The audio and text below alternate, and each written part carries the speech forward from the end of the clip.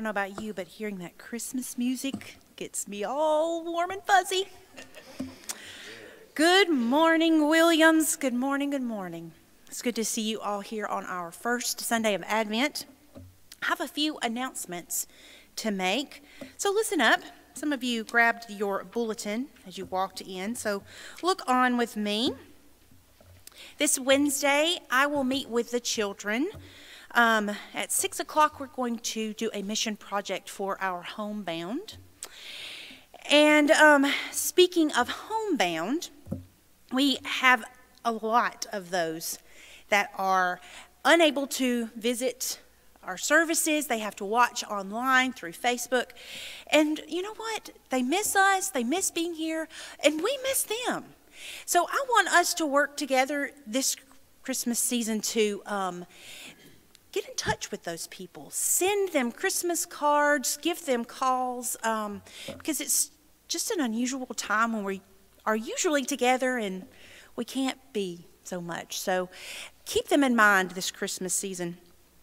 Um, there was a family that lost their home to a fire uh, this past week, the Elm Road family, and they are in need of everything. So if you would like to help with that family, we are collecting gift cards for them. Um, and you may get those gift cards. Can we get it to you, Allison? Or money. Hey, gift cards are money for the family. Also, still in need of water bottles for the elementary and high school students. Uh, in the bulletin, there's the list of the Gamecock Marketplace, and even though there's no students actually in school right now for Christmas, there's a lot that are living on campus or in the community, and they're it's still in need of these uh, items, so you can get those to the marketplace or have them sent here, and Emily Duncan will get them shipped there. And as you can see, we're really low in numbers. There's a lot of people in quarantine this morning and unable to be here. So just remember to stay safe and stay six feet apart. Wear your mask if you can. And then choir practice. Right after the service, you have a big Christmas event coming next Sunday morning, so you need to do some practicing first. So right after the service, you will have choir practice. All righty, let's begin. First, with a wave or a smile. Find someone to, to wave at or yawn. Yawn. it's good to see you all here this morning. It really is. So let's have a time of prayer. Please pray with me.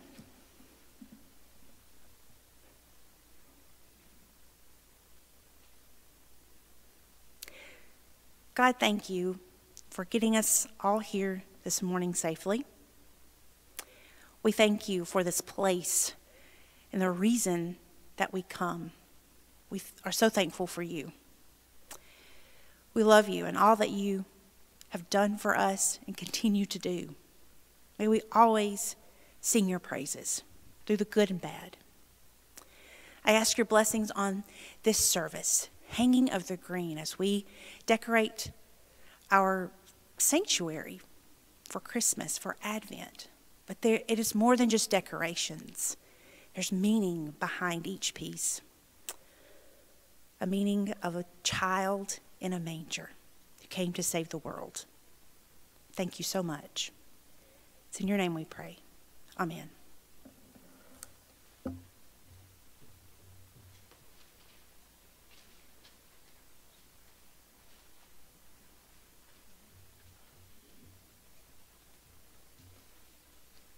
As we begin the Christian year, we also celebrate the holy season known as Advent. It is a time when we prepare ourselves for the coming of our Messiah. Advent means arrival. We celebrate these days of Advent in expectation and preparation for Christ's arrival. Through centuries, Christians have observed a time of waiting and expectation before celebrating the birth of the Savior at Christmas. The Advent season is a time for reflection and preparation, but its mood is joyful Advent has been enriched by Christian tradition to reflect its distinctive Christian meaning. It proclaims the revelation of God's love as expressed in child's birth in a humble stable, his sacrificial death on the cross, his victorious resurrection. It points to the hope of Christ coming again as King of kings and Lord of lords. Advent makes innkeepers out of all of us. asking each of us to make room for the arrival of Christ the King. Let us today prepare him room in our hearts, our lives, and our homes.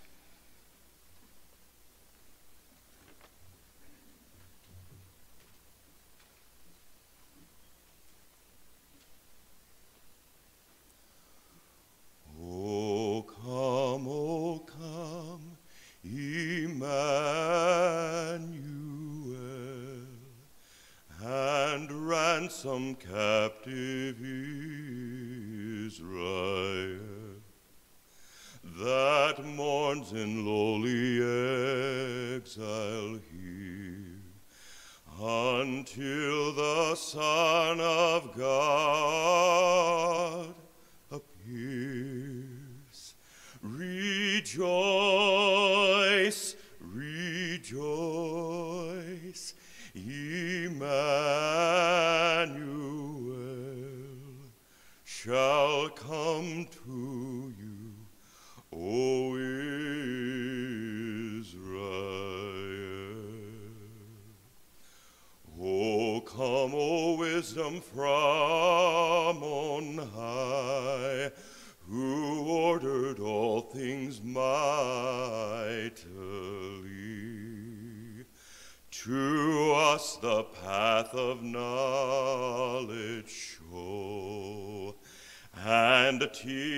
us in its ways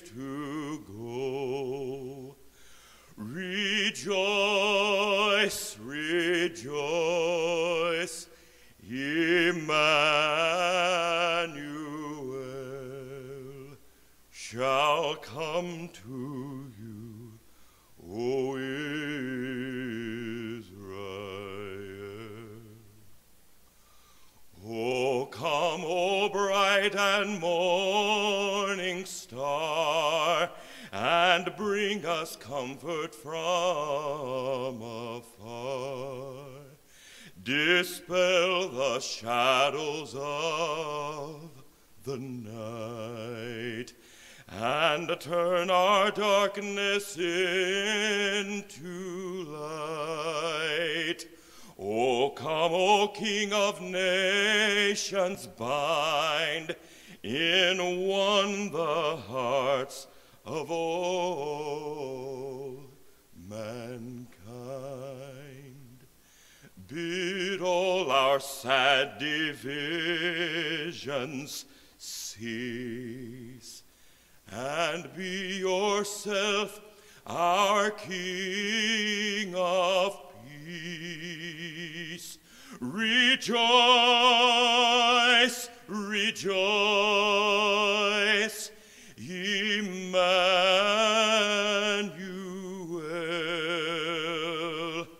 shall come to you. Oh,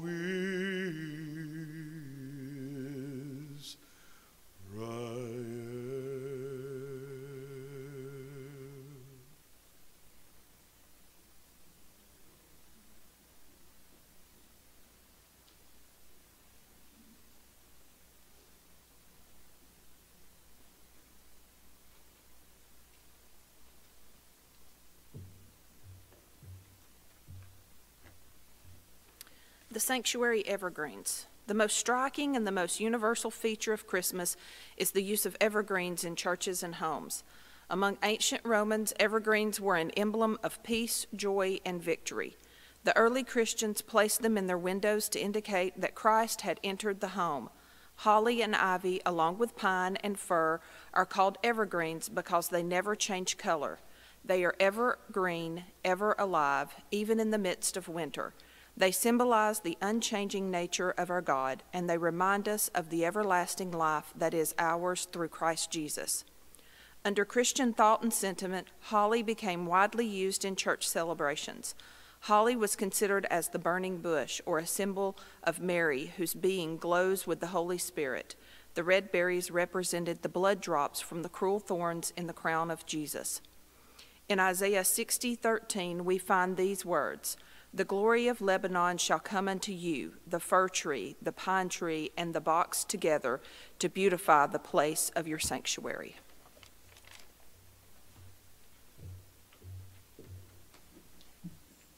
Amen. Let's all join in the worship and lift our voices. You can stand as we sing this great hymn of the season. All the words will be on the screen. God bless all of you joining us on Facebook today. I want you to sing along, okay? Let's sing it. Go tell it on the mountain, over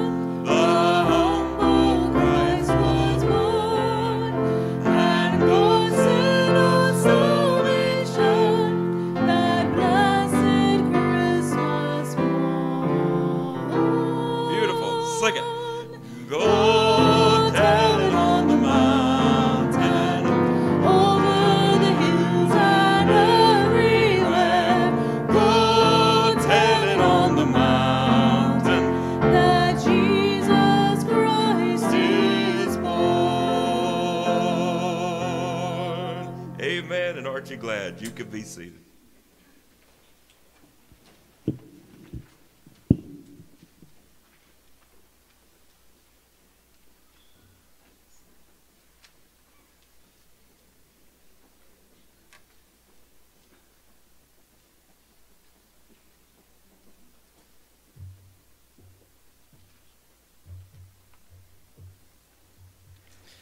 Today, the Christmas tree is the center of our festivities.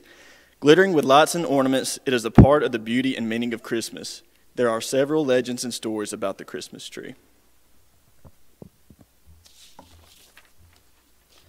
The first use of the Christmas tree was in the medieval German paradise plays, held outdoors and portraying the creation of humankind. The tree of life was a fir tree decorated with apples. Later, other ornaments were hung upon them, such as paper flowers and gilded nuts. In England, branches or whole trees were forced into bloom indoors for Christmas. From these beginnings, the use of a Christmas tree at Christmas was established.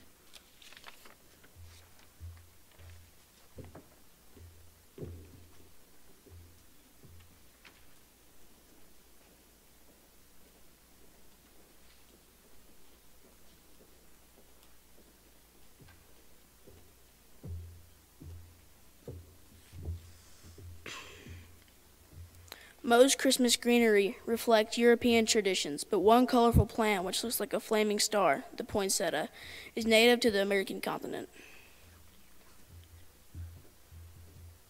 It was named after Dr. Joel Robin Poinsett, I'm sorry, Robert Poinsett, an ambassador to Mexico who first introduced it to the United States in 1828. The people of Mexico and Central America call the brilliant trouble plant of the flower of the holy night. The poinsettia is a mini pointing star that has become a symbol of the star of Bethlehem.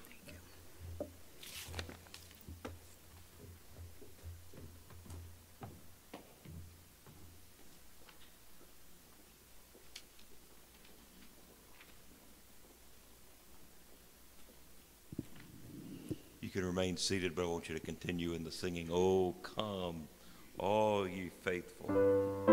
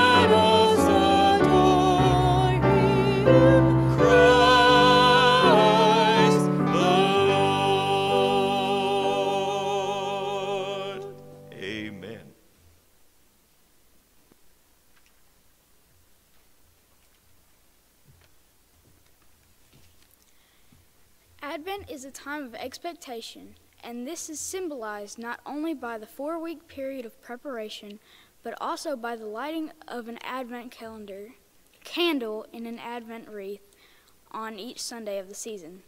The flame of each new candle reminds us, the worshippers, that something is happening and something more is still to come. The candles are arranged in a circle to remind us of the continuous power of God, which knows neither beginning nor ending. There is no symbolism. There is also symbolism in the colors of the candles. The four purple candles symbolize the coming of Christ from the royal line of David. He is coming as the King of Kings as well as the Prince of Peace. The large white candle in the center is known as the Christ candle and points to Jesus as the Christ, the light of the world. A progression is noted in the lighting of the candles of the Advent wreath each Sunday. Each candle symbolizes various aspects of our waiting experience.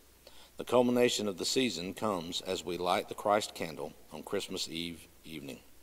We join in rejoicing that the promise of long ago has been fulfilled. Today is the first Sunday of Advent in which we recall the hope we have in Christ. God told Abraham that through him all the nations of the world would be blessed because he trusted and put his hope in God. The Old Testament spoke of the coming of Christ, of how a Savior would be born, a king in the line of, da- of King David, and he would rule the world wisely and bless all the nations. We too believe in God's promise to send Jesus again to this world to establish his kingdom upon the earth.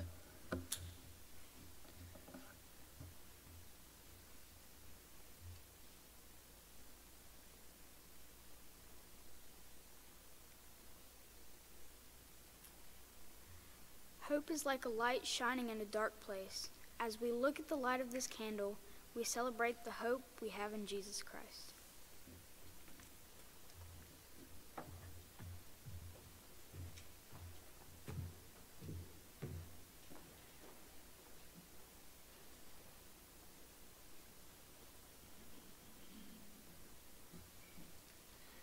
Probably my favorite uh, Christmas song would be this one here. It tells an incredible, true story. I would encourage you to, to go and look the, the story up of the, the fellow who wrote this song. But one of my favorites. Let's stand as we sing, I Heard the Bells on Christmas Day. Peace on earth,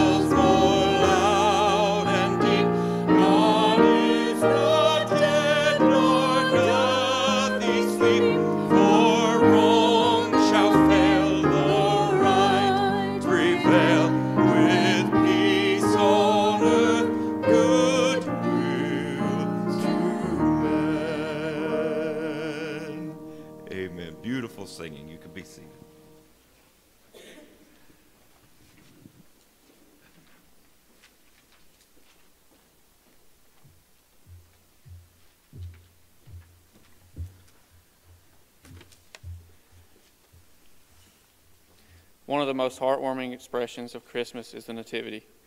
The Nativity speaks of the mystery of God's wisdom. Why God chose to send his Son into our world as a baby of humble birth, born in common surroundings, we do not know. What we do know is that God reached out to all people, including the poor and wealthy, the simple and the wise, the powerless and the powerful. All who found him knelt in humility before him. Whenever we see a nativity, we find ourselves with Mary and Joseph, with the shepherds and the, with the wise men, bowing before the manger, overwhelmed by God's expression of love in coming to us. Today we display a nativity in our sanctuary, in the center of our worship space, to remind us of who we should always worship when we gather in this space, and to focus our attention on this season and his birth.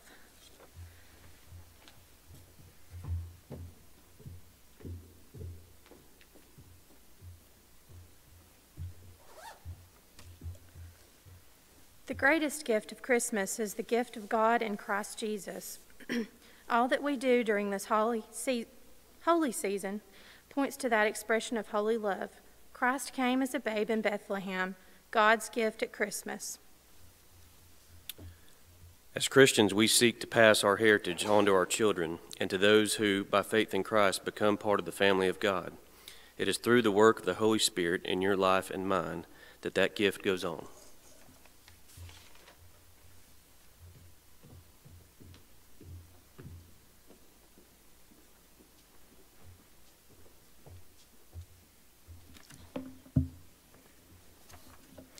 Thank you to all of those who read and helped prepare our sanctuary space this past week.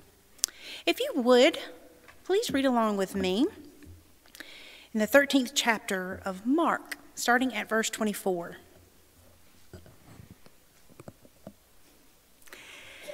But in those days, after that suffering, the sun will be darkened, the moon will not give its light, and the stars will be falling from heaven and the powers in the heavens will be shaken. Then they will see the Son of Man coming in clouds with great power and glory. Then he will send out the angels and gather his elect from the four winds, from the ends of the earth to the ends of heaven. From the fig tree, learn its lesson. As soon as its branch becomes tender and puts forth its leaves, you know that summer is near. So also, when you see these things taking place, you know that he is near at the very gates. Truly, I tell you, this generation will not pass away until all these things have taken place. Heaven and earth will pass away, but my words will not pass away. But about that day or hour, no one knows, neither the angels in heaven nor the Son, but only the Father. Beware, keep alert for you do not know when the time will come. It is like a man going on a journey. When he leaves home and puts his slaves in charge, each with his work, and commands the doorkeeper to be on the watch. Therefore, keep awake. You do not know when the master of the house will come in the evening, or at midnight, or at cockcrow, or at dawn, or else he may find you asleep when he suddenly comes. And what I say to you, I say to all keep awake. May God bless the reading of God's holy word. Please pray with me.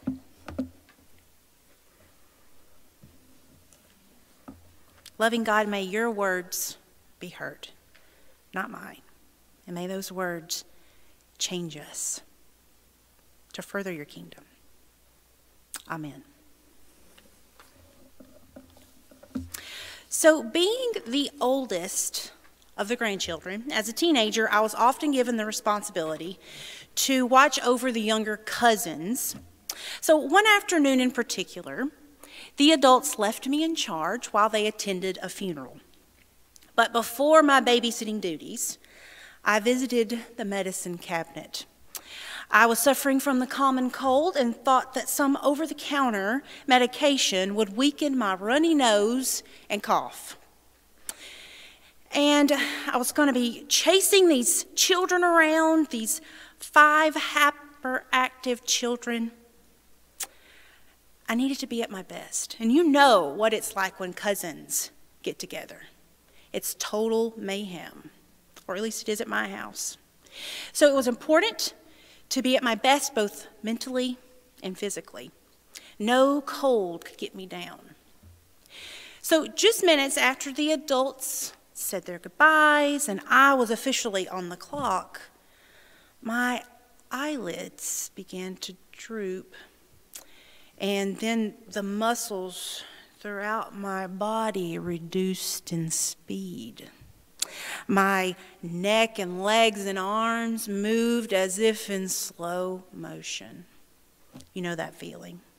Immediately, I knew what I had done. I recklessly ingested some nighttime cold medication. And it was too late. But I had to fight the urge to sleep. I was in charge. Standing, it helped for a little bit, but I would eventually sway myself into sleep. And I tried moving around the house, encouraging the kids to move with me, making a game of it. But they decided on a quiet game of Candyland. Those ice cream slopes and gumdrop mountains could not keep my attention for long. I eventually allowed my head to just lean back against the wall ever so softly and let the diphenhydramine take over. Now, although that day I gladly accepted my babysitting fees, I did not deserve it. I was not able to stay alert. No matter what I tried, the slumber advanced, and I, the person left in charge, was totally unaware of my surroundings or any safety precautions. But yet, the most unfortunate part of it all was that that precious time that I dearly cherish with my cousins it was neglected. I missed out that day. Now, on this first Sunday of Advent, the church starts a new liturgical year. We begin with a season of preparation, expectation for the coming of our Lord's glory and power. With the excitement of singing Christmas carols and decking the halls here in our sanctuary, we're met with this unexpected apocalyptic text from the Gospel of Mark. Now, this is why I prefer to look to the lectionary readings. We're compelled to examine those challenging scriptures that we might otherwise ignore or just pass by. And uh, a message of Advent, it's, it's found in these verses, though. But it's set within the middle of Christ's passion narrative. So, beginning in verse 11, I mean, in chapter 11, Jesus starts to reveal himself as being the very temple and living presence of God. And this idea it is communicated in the following four chapters. So, you know, we know the story. Jesus enters into Jerusalem. He is uh, declared by the crowd son of David. He proclaims his divine incarnate identity in the temple through teachings. He curses the fig tree. He speaks of the parable of the vineyard. And then he announces the rejection of the cornerstone.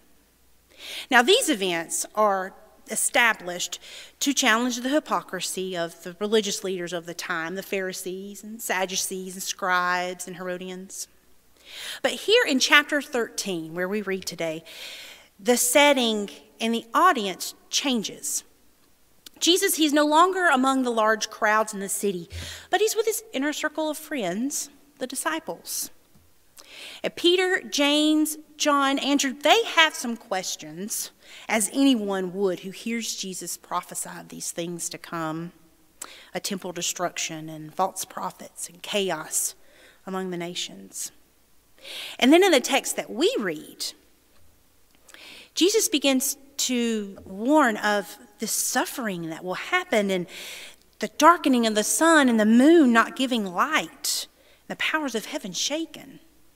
Pretty scary stuff. These words, they lack the motivation to get us in the mood to sing some Christmas carols, Joy to the World, or Santa Claus is coming to town. So, where is the message of anticipation and peace? Well, if we look in verse 31, Jesus says, Heaven and earth shall pass away, but my words will not pass away. This promise, it expresses the very heart of our faith. The reason we as a community of Christ emphasize hope and love during this time of year. The fears of today, the turmoil and confusion of our lives, it will pass on. What is to come is far greater. Jesus has come. Jesus is present now and will come again. Three different times, Jesus advises us beware, keep alert, keep awake. In his final words to us in verse 32, he says, But about the day or hour no one knows, neither the angels in heaven nor the Son, but only the Father. And then, following these words, Jesus delivers the parable of the doorkeeper, where the slaves and the doorkeeper eagerly wait for their master's return, or at least they should be. The call to watchfulness for the Messiah's coming is the gift of this text for us. It's easy to become complacent with the mundane customs of this season. We allow the mindless frenzy to dull that illustrious shine of our preparation of the coming Christ. But there is more, there is better. But we have to be observant. We do not want to miss out this Advent season. We do not know the day or hour. Therefore, we must live in mindfulness of a future beyond human knowing. So let us stay awake and keep alert for Christ this season. Let's pray.